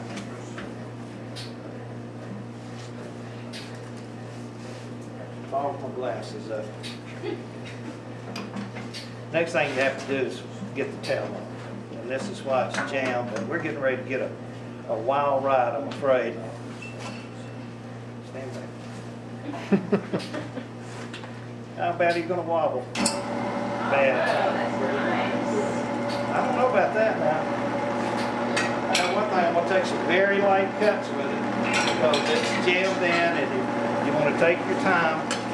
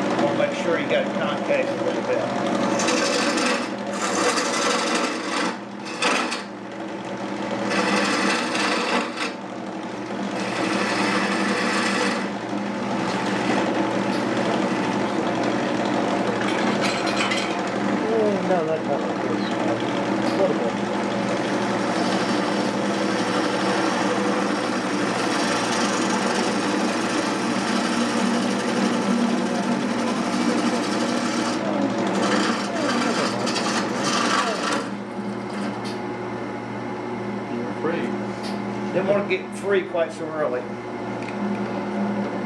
That's more sanding. Yeah. You want me to get it down to a little tip, you can take it off and take the, take it off. That one broke a little bit early, so now we come to the sanding part.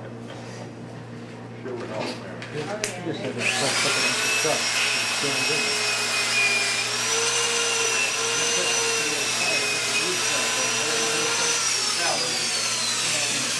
You can use electric sander or you can use your air sander and uh, try to get your little nub off.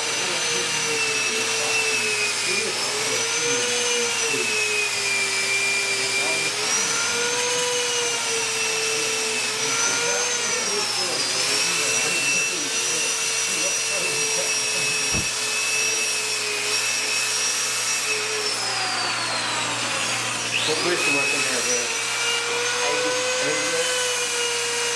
I do all my rough sanding with an 80 grit, plus I have a real soft wood.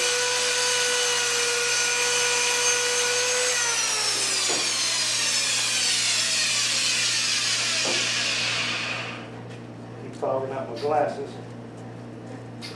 Alright, Let's go to the air sander. This is also, you get these at Harbor Freight, it's a a random orbital air sander. And you usually don't have the swirl marks when you use one of those. I use it more for the finish sanding. And it does the trick real quick.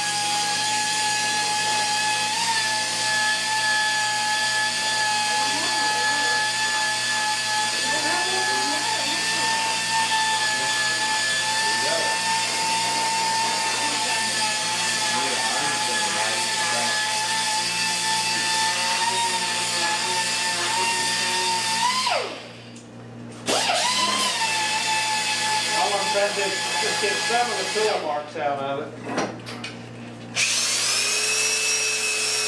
This is a little more aggressive than the uh, portable sander.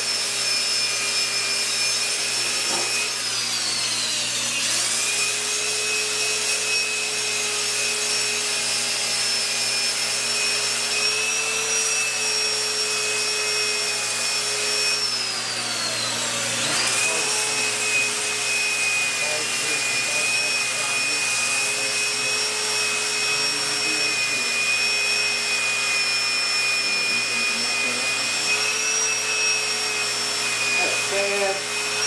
Mark already ran that around where it was wobbly and trying to clean that out. It that'll come out pretty easy with uh, my favorite tool, which is 80 grit.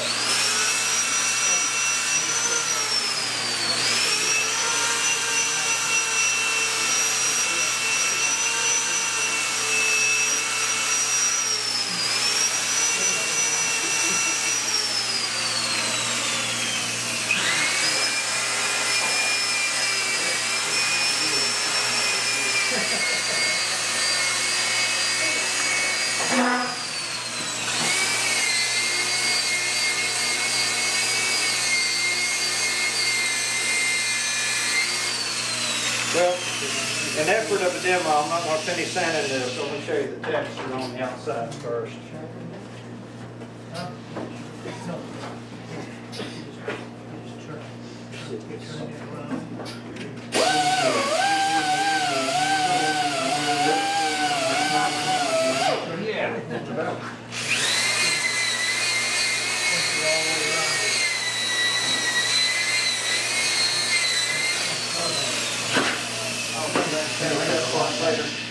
All right, to texture it, we'll have the uh, monster out.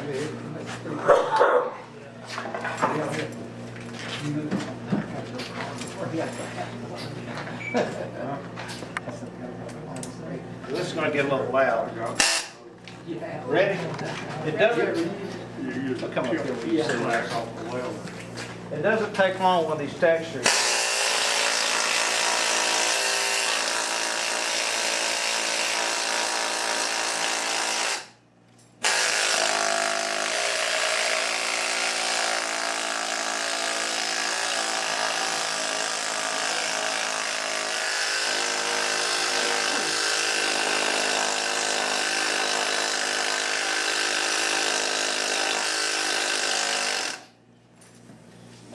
This is some of the hardest wood I've ever turned.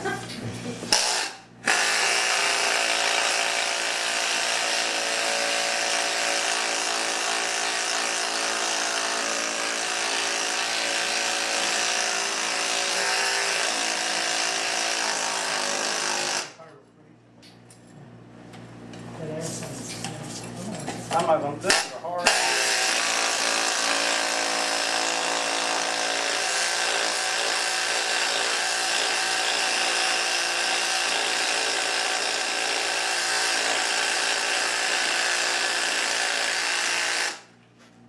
I'm just gonna demo part of the bowl, just to show you how to texture. Next time I'm gonna stick to my maple. I don't know what that was, that's some hard wood, but you can see the texture that you, I am, I'm rolling. Um, Gonna go over, it's gonna be a little bit of a history lesson, a little bit of uh, how this came about, and a little bit of cutting. Uh, You'll be amazed at how fast a Rose engine can really cut. What first is ornamental turning. Rose engine is just part of what ornamental turning is. If you look at Holtzapffel's last volume, uh, almost nowhere in there does he even bring up the word rose engine. In fact, I've not found it yet. Um, They were mostly into ornamental lathes. And what they were, were, were lathes that had indexing heads on them and they could do some, what they call fly cutting. In fact, you guys that have worked around machine shops, that's where the term fly cutter came from, is actually from these flying heads that they developed to do this. Um, Smoking in here. Oh, your coffee. I was gonna say, because I don't have anything plugged in yet. I didn't get excited, you know. But ornamental turning is any, is when you put ornamentation on a part with something mechanical. You could take your lathe like this, you can take your lathe, if it has an indexing head, index, draw a line, index, draw a line, and drill holes freehand in it, that is not ornamental turning. Or you can carve stuff into it, that is not ornamental turning, that's all under the category of carving. Have to have some mechanical thing doing something mechanical to the part, if that makes sense, okay? Now, that being said, a- a- a ornamental lathe would have generally a, a big plate back here with holes in it, and it the, might have ninety-six holes in a circle or sixty holes in a circle. They'd have a pin that would lock it to where it's gonna be. They would move it over, do something, move it over, do something. They actually made a- almost like a recipe of what they were doing. Rose engine, difference a- between a rose engine and an ornamental lathe is that this head will rock. Got it locked down now will rock, okay? Some rose engines will rock and pump, but this is called rocking, that's called pumping out. Teach you some more rose language. Because some of it doesn't make sense, but some of it does. Mine doesn't pump, It doesn't mean it's not a rose engine, just a rose engine that doesn't pump. Um, What I'm gonna do somewhere down the road is I wanna have that pumping action. Probably gonna put it on cut this table, put some bearings under there so that the table moves. It Doesn't matter what moves, it's just something has to move. We have a winner this fall. Thought the cavalry was coming. Okay, does all that make sense? Okay. And that, an ornamental lathe, the only thing that differentiates it from a regular lathe is you can index it, lock it, they've got a table on here that has an X, Y table. You gotta have that kind of a motion so that you can judge where you're gonna be. You go on the web, look under Nova, uh, I don't remember what all, it's, Nova's the company that, they, they build lathes and such in Australia or New Zealand. And they sell an ornamental attachment to fit on your lathe. I've actually set one up for a fellow who got one, is the first one in Charlotte, and I've got another friend that's got one that's still sitting on his kitchen table. He's waiting for me to come over and show him how to use it. Um, It's not, not real complicated. The way it works is, cutter goes in the spindle, You've got an attachment out here that indexes your work, and you can do some tricked out stuff there. And it has a threading attachment so that you can thread.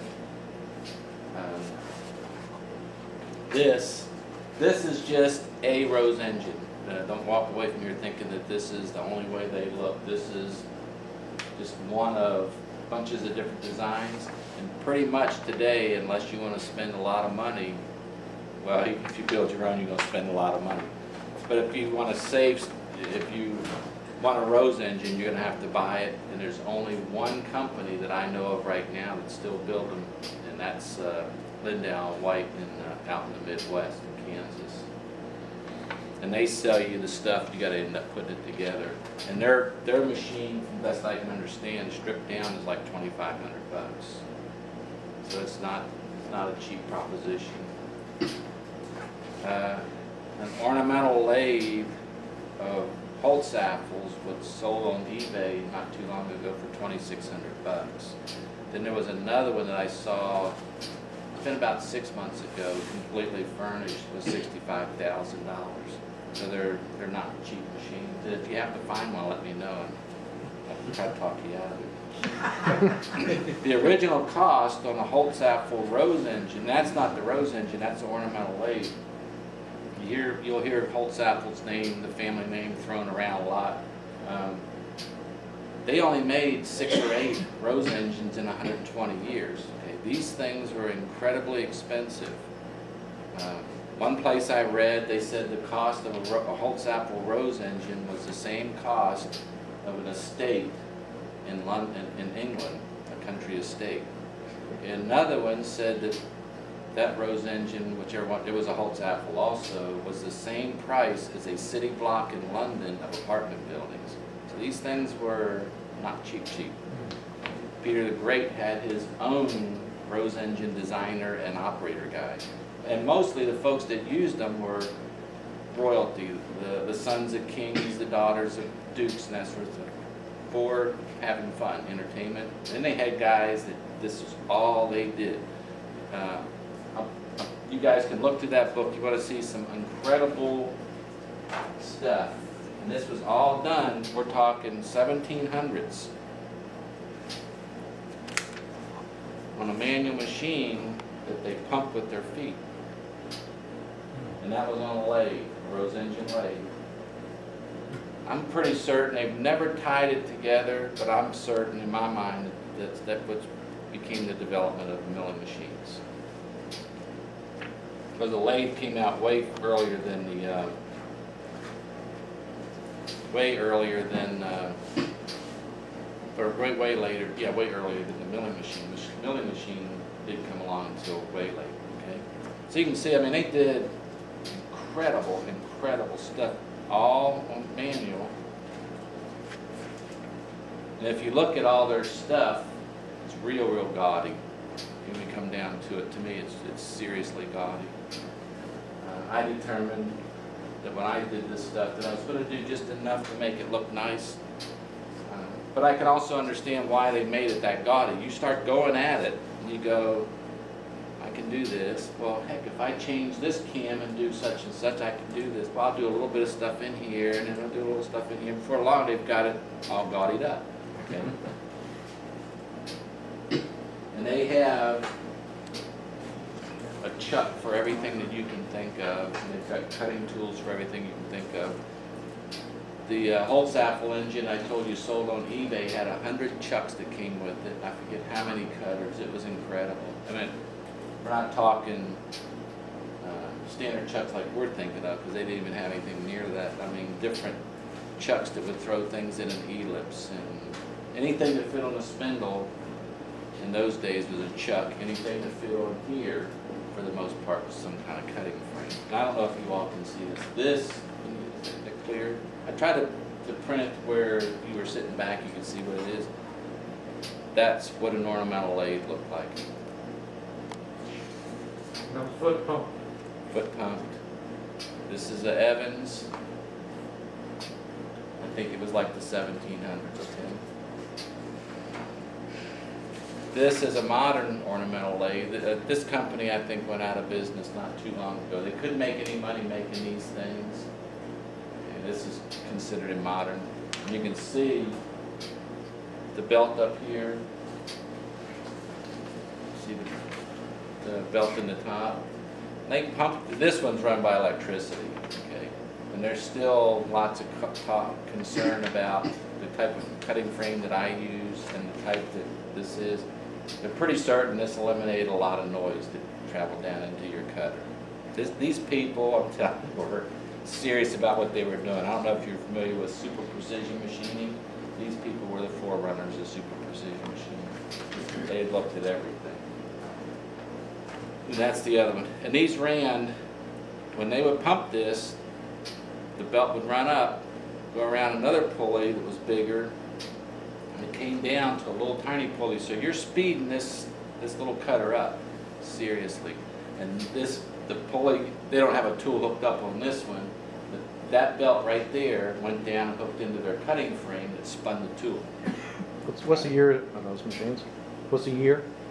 This one is around seventeen hundred, hmm. eighteen hundred.